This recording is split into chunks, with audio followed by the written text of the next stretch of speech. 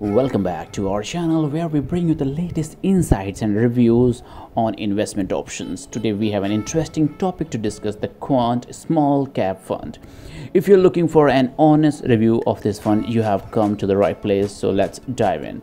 Before we begin, I'm your host today. I have done extensive research to provide you with accurate and up-to-date information about the Quant Small Cap Fund. So let's get started. The Quant Small Cap Fund has been making waves in the investment world. Its performance has undergone a remarkable transformation since 2020. Prior to that, the fund was considered an underperformer, but it has since become a top performer in its category. With an annualized return of 58% over the past three years, it has outperformed 361 equity funds in this category. To put it in perspective, if you had invested rupees 1 lakh in Quant Small Cap Fund in 2020, it would have uh, grown close to 4 times reaching 3.6 lakh today. Now, you might be wondering what sets this fund apart. The credit for its impressive uh, performance goes to its fund manager, Ankit Pande, who took over mm, in May 2020. Under his leadership, the fund's asset under management have grown an almost 35 times in the past three years, from 94 crores to 3,301 crores. Let's take a closer look at the investment strategy of the Quant Small Cap Fund.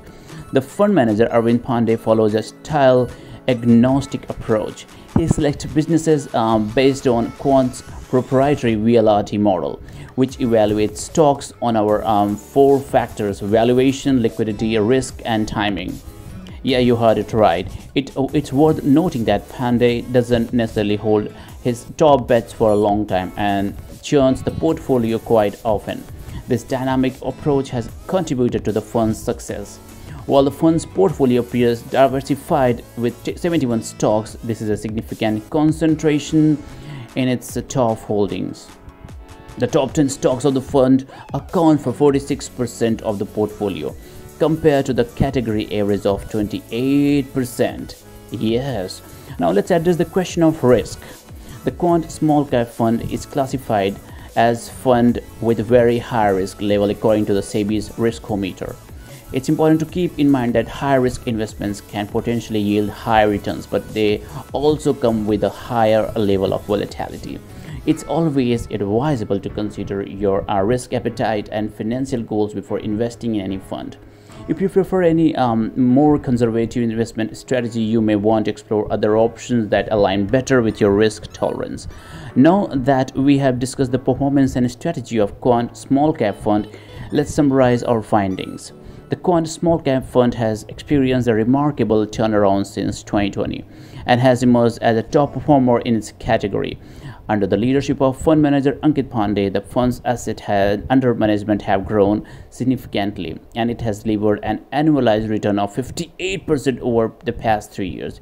The fund follows a style agnostic approach and selects business based on Quant's proprietary VLRT model while the portfolio appears diversified there is a concentration in the top holdings as well.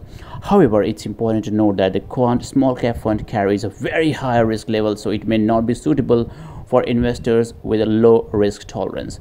That brings us to the end of our review of the Quant Small Cap Fund. We hope this information has been helpful in your investment decision making. Remember, it's always essential to uh, conduct thorough research and consult with a financial advisor before making any investment.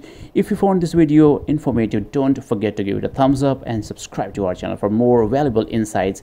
And as always, if you have any questions or suggestions for future videos, please leave them in the comment section below. Thank you for watching and we'll see you in the next video.